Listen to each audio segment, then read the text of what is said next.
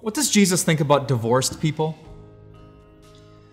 You don't have to guess the answer to that question because the Bible gives it.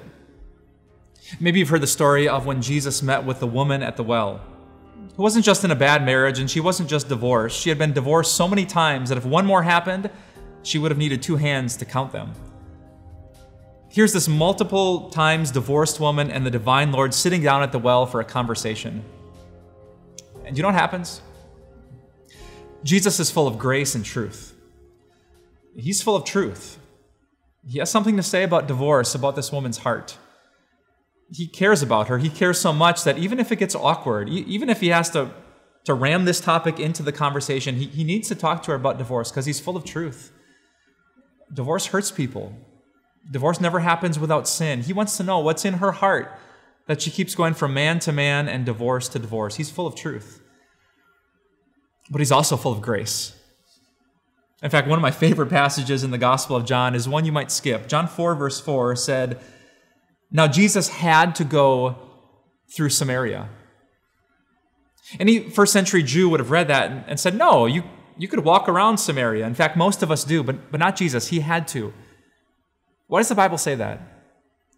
Because he had to let this divorced woman know that God was full of grace that being ostracized as a five time divorcee did not disqualify her from the grace of God. And maybe Jesus had to speak to you today for that same reason. Maybe this seems like a coincidence that, that you and I are talking right now, but maybe Jesus wanted to make so clear that even if you've been divorced twice, five times, God is full of grace. There is still love, there is forgiveness, there is a place at God's table with your Heavenly Father no matter what happened with your marriage. God so loved the world that he gave his only son. And guess who's in the world? Divorced people. You. So come to Jesus with your questions. And know this that whatever he says, it will be full of grace and truth. It will be full of incredible love for people just like you.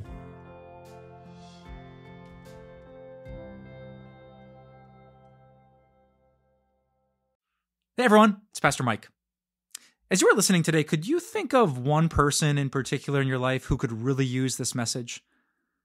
I have a hunch if you take just a second, someone's name or face might pop into your brain. We'd love for you to share this episode so people just like that, that you love and that God loves, can learn more about God's love.